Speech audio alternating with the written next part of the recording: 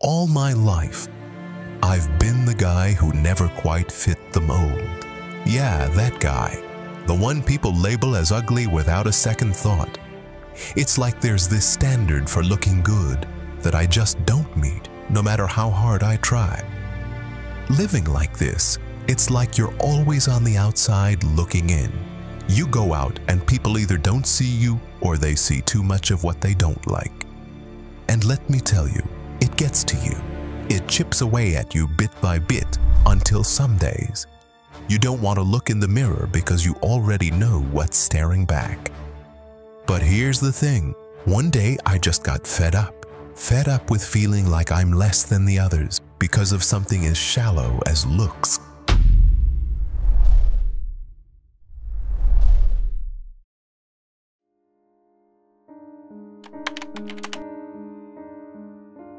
So I thought, screw it. I'm gonna make a video. Not for likes, not for some kind of validation, but to speak up about this, to let others know they're not alone in feeling this way. And there I was, talking into my camera, pouring out my heart about all the stuff I've been through. In my video, I laid it all out there. I didn't hold back on the details either. I got into the nitty gritty about the parts of me I've always hated, how I've tried to hide them or change them, just to feel a bit more normal. And then the seven years wrapped up in a relationship that, to put it mildly, was pretty toxic. It did a number on me, made me feel even lower, if that was possible. After that mess, trying to find someone new felt like hitting a wall of rejection over and over. It's not for lack of trying. I even got techie with it, used algorithms on dating sites hoping to get a hit. But no dice, just more of the same. Wrapping up the video, I kind of landed on this bleak note, wondering out loud if maybe the only way out of this cycle, the only way to get a shot at feeling normal and accepted, might just be going under the knife.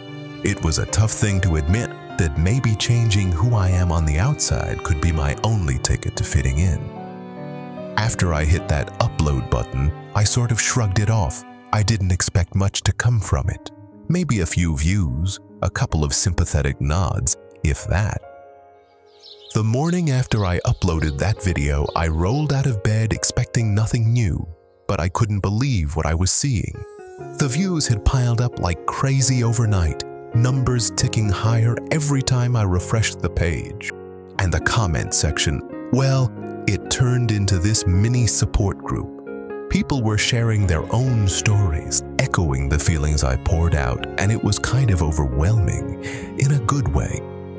A few days passed, but one day, while scrolling through, amidst the ocean of comments, one snagged my attention, not because I was scouring for compliments or anything. It just stood out because it was different. A user named Julie Romana M left a message that was simple, but hit me differently. She said, I actually think you're kinda cute, to be honest. I mean it. Something about the way she said it felt disarmingly genuine, like she wasn't just tossing out words to be kind, and the internet seemed to agree. Her comment was swamped with likes, a little island of positivity in a sea of shared pain and empathy. But then, that familiar skepticism crept in. My past experiences had taught me to be wary, to not get carried away with a few kind words, considering the mountain of rejection I've faced. So I brushed it off, figured she was just being nice, trying to make me feel better. A couple of days later, out of the blue, my Discord pings with a new message. It's Julie sliding into my DMs. Initially, I figured she just wanted to continue the conversation from YouTube, maybe share more encouraging words or something. So we start chatting, and it's all pretty chill at first, basic get to know you stuff. The more we talk, though, the more I find myself genuinely enjoying our conversations. But here's the catch. She's in Argentina, and I'm halfway across the world in Sweden. The distance between us is not just a couple of miles. It's an entire continent, oceans apart. The idea of anything beyond friendship, it doesn't even flicker in my mind. despite the physical miles between us, we keep this connection going. Here's where things take a turn I never saw coming. One night, it just spills out. We're talking, and somehow we just lay it all on the line. We admit that what we've got isn't just friendship. It's more, way more. And just like that, we're acknowledging that we've fallen for each other.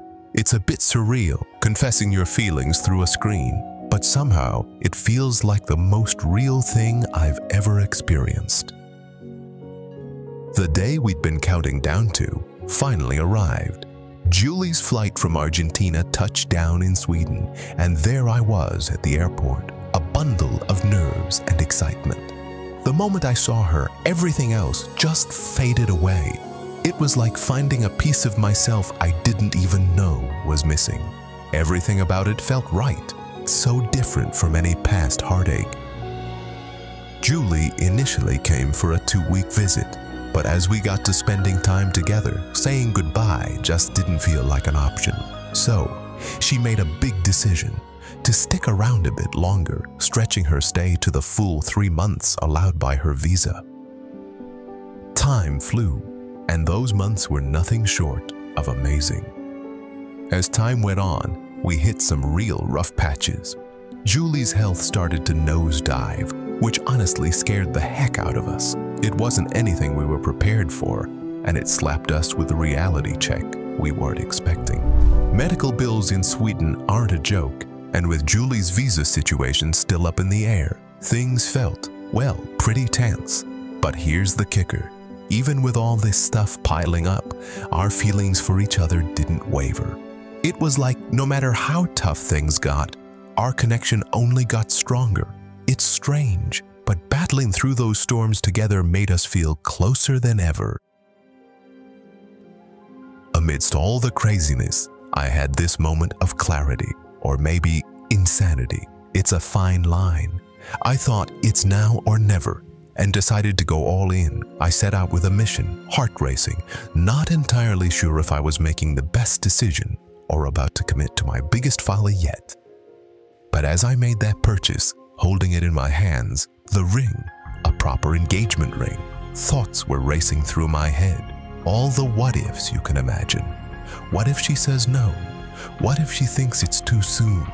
My track record with relationships wasn't exactly stellar, and those old doubts and fears started creeping in. So there I was, heart pounding, knees feeling like they were about to give out, holding this ring and hoping I wouldn't make a complete fool of myself. I took a deep breath, got down on one knee, and just went for it. Will you marry me? I managed to get it out, voice all shaky. The look on Julie's face, man, it was everything. First surprise, then this huge beaming smile spreads across her face, and then she's laughing and crying all at once. And when she said yes, it felt like every teasy movie scene rolled into one but a million times better because it was real. It was us. Thinking back to how all this started, a random video, a comment that could have easily been lost in the sea of the internet. It's wild to think how far we've come.